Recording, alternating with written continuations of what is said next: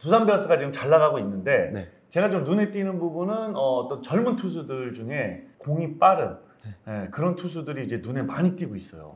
사실은 투수가 좋아지면 이게 장기적인 관점에서 팀이 진짜 야몇 년 동안은 정말 강하겠다 이런 생각이 들잖아요. 네. 두산이 이제 그런 어떤 희망들이 너무 많이 보이고 있는데 네. 퓨처스에서부터 뭐 하는 어떤 시스템이나 어, 그런 것들이 좀 좋은 게 있어요.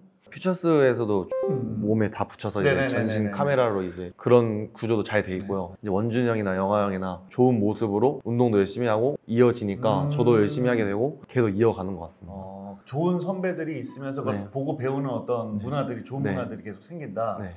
근데 그 좋은 선배 중에 또 곽빈 선수 좋은 선배다 뭐 이런 비슷한 되게 좋은 선배가 되려고 하는 노력하는 네, 네. 그런 네. 어느 정도 야수 쪽만 조금만 더 이제 뭔가 어린 친구들이 좀 올라와 주면은 정책이 이런 거 네. 없이 바로 그냥 또 시작을 할 것 같더라고요 진짜. 진짜 와 이 타자 우리 팀에 있어서 다행이다 이런 타자 있어요? 의지 형 의지 형 보유 구단 어 네. 의- 의지형 네, 그거- 보유보다 네. 잠깐만 NC 있을 때 상대 해봤죠? 네 해봤습니다. 어땠어요? 성적이 어땠어요? 한 6타수 4만타 정도 맞는 아, 것 같아요. 저죠? 네. 의지 형은 직구로 잡아야겠다 음, 하면 음, 음. 또 이제 펜스 맞히고 네. 아 그래서 아 네. 빠른 공 안 되겠구나 네. 그래서 변화고 던지면 또 네. 그대로 치고 아 진짜 네. 그냥 보통 타자들 보면은 어 어떤 거 던지면 되겠다라는 네. 게 답이 나오는데 양희 선수 사실 그게 안 나오는 그죠. 예, 정말 뭐 최고의 타자 중에 한 명이니까. 조화제약 유튜브 채널 좋아요와 구독 많이 눌러주세요.